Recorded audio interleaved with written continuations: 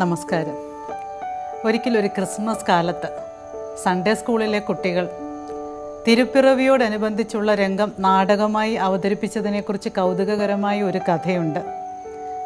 ജോസഫും പൂർണ ഗർഭാവസ്ഥയിലായിരിക്കുന്ന മേരിയും സത്രങ്ങളായ സത്രങ്ങളൊക്കെ അഭയം പ്രാപിക്കുകയാണ്.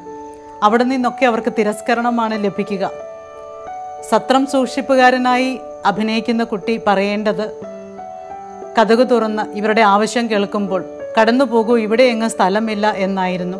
പക്ഷേ ജോസഫിന്റെ മുഖത്തെ മ്ലാനതയും മേരിയുടെ അവശതയും ഒക്കെ കണ്ടതോടെ സത്രം സൂക്ഷിപ്പുകാരനാകെ സഹതാപമായി. നേരത്തെ പരിശീലിച്ചതിൽ നിന്ന് വ്യത്യസ്തമായി സത്രം സൂക്ഷിപ്പുകാരൻ പറഞ്ഞത് വരൂ വരൂ ഇവിടെ അകത്തേക്ക് കടന്നു വരൂ. ഇവിടെ എവിടെയെങ്കിലും കിടന്നുകൊള്ളൂ എന്നാണ്. നേരത്തെ പരിശീലിച്ചതിൽ നിന്നും വ്യത്യസ്തമായി സത്രം സൂക്ഷിപ്പുകാരൻ പ്രതികരിച്ചതോടെ ജോസഫ് ഈ രംഗം രക്ഷപ്പെടുത്തി എടുക്കാൻ ശ്രമിച്ചത് ഇങ്ങനെ ജോസഫ് സത്രത്തിനകത്തേക്ക് കടന്ന് അവിടെ മാകെ ഒന്ന് നിരീക്ഷിച്ചതിന് ശേഷം പറഞ്ഞത്രേ ഓ ഈ സ്ഥലം അത്ര പോരാ. മേരി വാ നമുക്ക് അപ്പുറത്തെങ്ങാനും വല്ലോ പശുക്കൂടും കിട്ടുമോ എന്ന് നോക്കാം. പ്രിയമുള്ളവരെ ബൈബിളിലെ തിരുപ്പിറവിയോടനുബന്ധിച്ചുള്ള വിവരണങ്ങളിൽ നമ്മെ ഏറെ സങ്കടപ്പെടുത്തുന്ന ഒരു ഭാഗമാണ് പൂർണ ഗർഭാവസ്ഥയിലായ മേരിയെയും കൊണ്ട് ജോസഫ് ഓരോ വാതിലുകളും കിടക്കാൻ ഒരിടം തേടി മുട്ടുന്നത്. പലരും ഇവിടെ സ്ഥലമില്ല കടന്നു പോകൂ എന്ന് പറയുമ്പോൾ നമ്മുടെ ഹൃദയത്തിൽ ഒരു മുള്ളു തറയ്ക്കുന്നത് പോലെയുള്ള വേദന നമുക്കും തോന്നാറില്ലേ? ആർച്ച് ബിഷപ്പ് ഫുൾട്ടൻ ജഷീൻ ഇതിന് നൽകുന്ന ഒരു വിശദീകരണം ഇവിടെ ചേർത്ത് പറയാമെന്ന് തോന്നുന്നു. അദ്ദേഹം പറയുന്നത് ഇങ്ങനെയാണ്. സത്രം എന്ന് പറയുന്നത് പണം കൊടുത്ത് താമസിക്കാൻ സാധിക്കുന്നവരുടെ സ്ഥലമാണ്. അല്ലെങ്കിൽ സമൂഹത്തിലെ അന്തസ്സും നിലവാരവും ഉള്ളവരുടെ സ്ഥലമാണ്. എന്നാൽ ഒരു ഉപയോഗശൂന്യമായ ഗുഹയോട് ചേർന്നുള്ള പശുക്കൂട് എന്ന് പറയുന്നത് ഉപേക്ഷിക്കപ്പെട്ടവരും മാറ്റി നിർത്തപ്പെട്ടവരുമായ ആളുകളുടെ സ്ഥലമാണ്.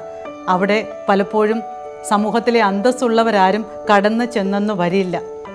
അവിടെ ആകെ നിറഞ്ഞു നിൽക്കുന്നത് മാലിന്യങ്ങളുടെയും അതല്ലെങ്കിൽ കന്നുകാലികളുടെ ഭക്ഷണ അവശിഷ്ടങ്ങളുടെയും ഒക്കെ ഒരു ദുർഗന്ധമായിരിക്കും.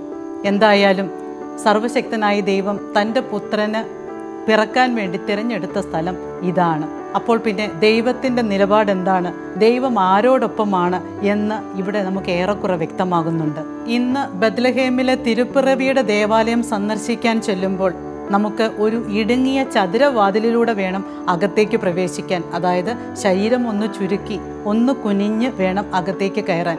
അകത്ത് കയറിക്കഴിഞ്ഞ് തല ഉയർത്തി നോക്കുമ്പോഴേക്കും ആ ബസിലിക്കയുടെ പവിത്രതയും പരിശുദ്ധിയും മുഴുവൻ നമ്മുടെ മുൻപിൽ തെളിയുകയാണ്. ഇതൊരു പ്രതീകാത്മകത തന്നെയാണ്. അതായത് ദൈവപുത്രനെ കാണണമെങ്കിൽ ഉണ്ണിയേശുവിനെ കാണണമെങ്കിൽ നാം ഒന്ന് എളിമപ്പെട്ടേ തീരൂ. നമ്മുടെ മനസ്സിലുള്ള ചില തെറ്റിദ്ധാരണകളെയൊക്കെ മാറ്റിയേ തീരൂ അഹങ്കാരം വർജിച്ചേ തീരൂ ചില വേണ്ടാത്ത ശീലങ്ങളും ചിന്തകളുമൊക്കെ ഉപേക്ഷിച്ചേ തീരൂ.